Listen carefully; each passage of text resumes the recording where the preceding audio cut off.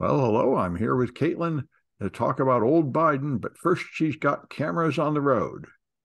Yeah, so this is something new.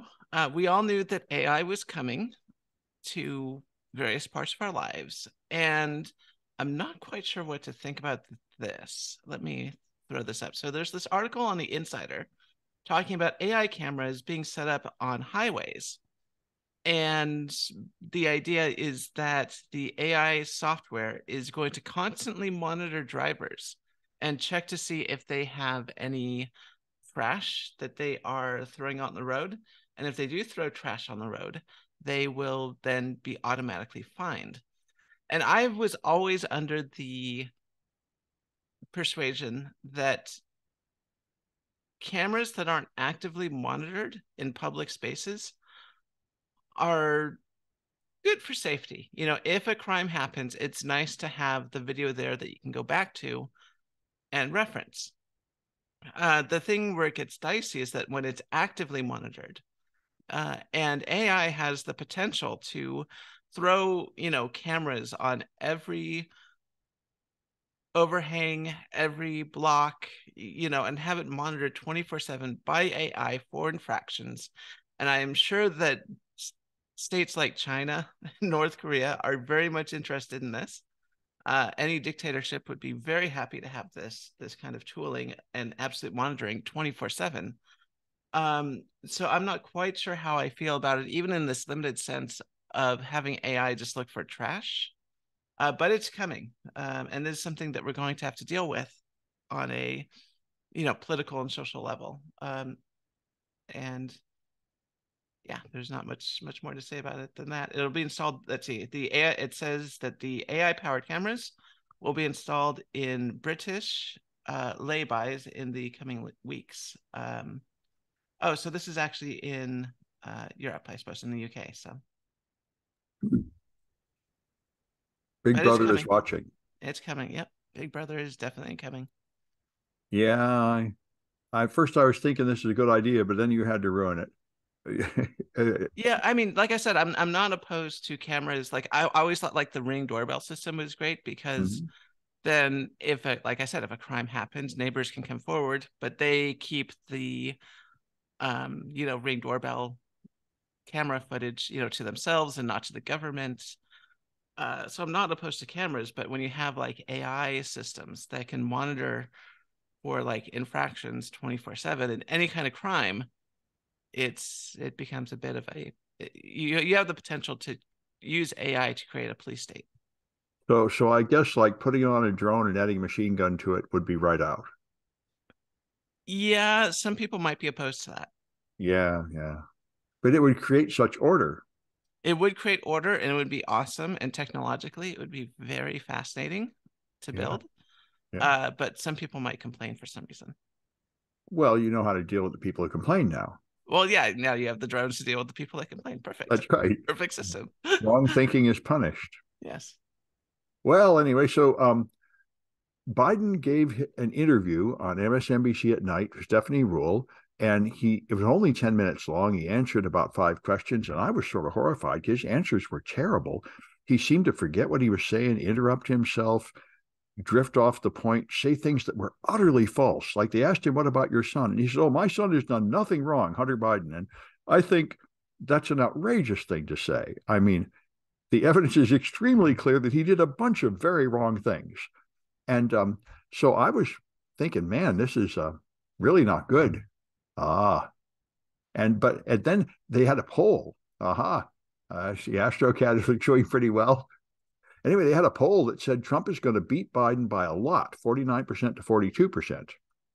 And remember, uh, Republicans have a huge advantage, like 3% or so from the uh, Electoral College. So they also said that 18% of voters who believe Trump should be held criminally accountable for overthrowing the 2020 election will still vote for him anyway. So anyway, I'm uh, the uh, I think it's the Washington Post know, the Washington Post put up an editorial saying Biden needs to do press, uh, real press meetings where he lets people ask questions and answer them. He hasn't done a single one this year, and he avoids it. And when he does, he drops his notes, and you can see what he's doing. And he's got crib notes to tell him what to say. it really seems like Biden is not got it together enough to deserve to be president. And I see the Democrats keep doing this. They did it with Ruth Bader Ginsburg. They just let her go on when she was far too old and obviously should have retired. They're doing it with Dianne Feinstein. Just let her go on when they know he should retire. And they're doing it with Biden. They're so nice, they can't tell somebody, you're too old to admit you're too old. And, you know, we might end up with more Trump as a result. I mean, like most Democrats, I'll vote for Biden anyway because I can't vote for Trump. But I really think they need to run somebody younger. And I think they need to admit this this is their flaw. The Republicans have this hero worship thing where they follow Trump no matter what he does. And the Democrats have this niceness where they will not admit when one of their people has gotten too old. How old is Trump anyway? He's uh, 76, but he's much more energetic than Biden. I mean, he gives these rallies, he gives his speeches. He he does not seem to have slowed down the way Biden has. He it's all garbage, but he spews it out with energy. anyway, um, we're going to see. Both sides seem to have decided they're not going to bother with primaries, just going to go with the front runner. But uh, I think it's a mistake on both sides. And so do most Americans. Very few Americans want this. They want both Trump and Biden to just knock it off and let's have some new people.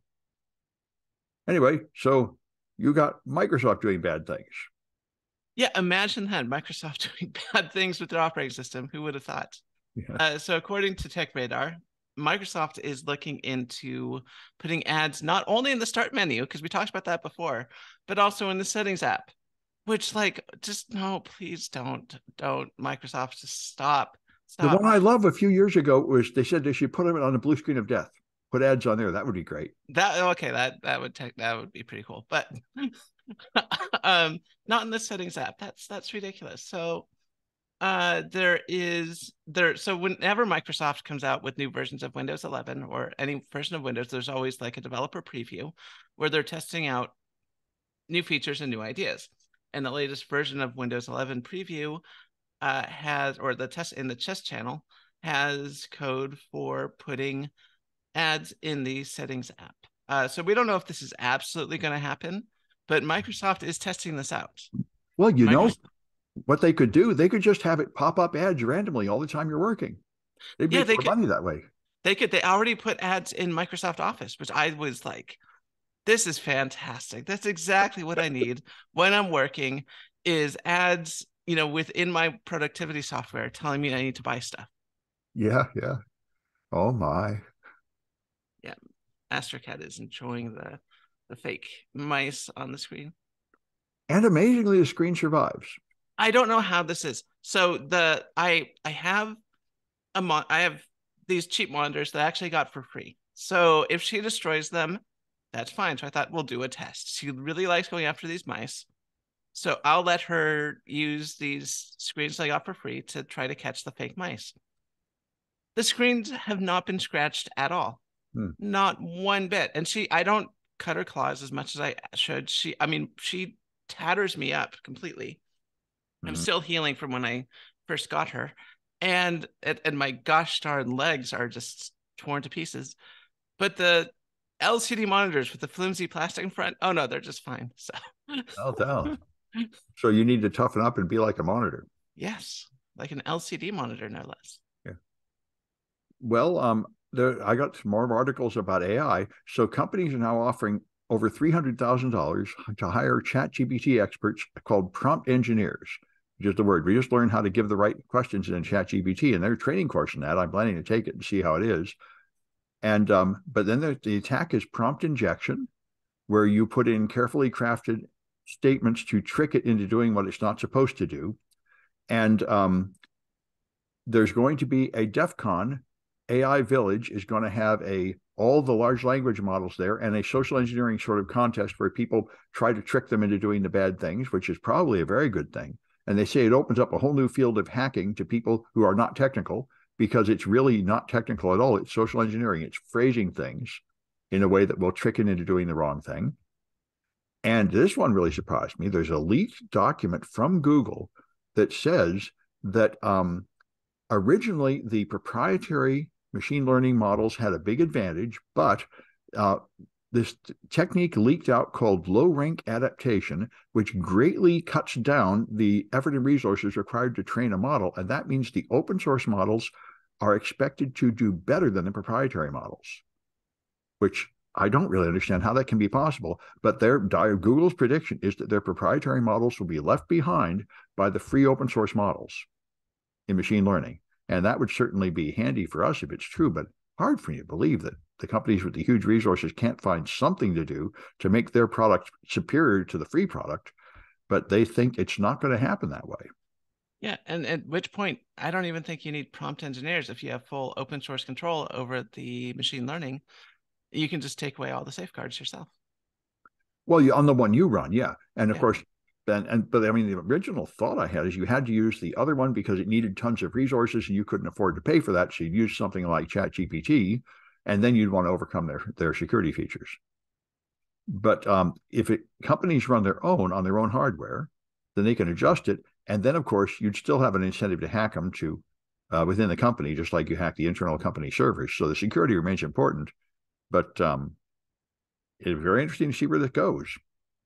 Anyway, I guess I need to get that uh, that course in uh, prompt engineering and add it to my classes if it actually makes any sense, which apparently it does.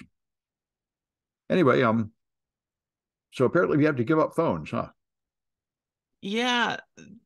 Well, at least not not for adults. Uh, it turns out that smartphone addiction is a real thing, uh, and studies have shown that the same neural pathways and the same neurochemicals get released when you're addicted to your phone when you are also addicted to like a narcotic uh, which you know is is fine if you're an adult and you can you can control yourself and you realize hey i'm getting addicted. I'm going to put this down. I'm going to go touch grass for a while. That's fine.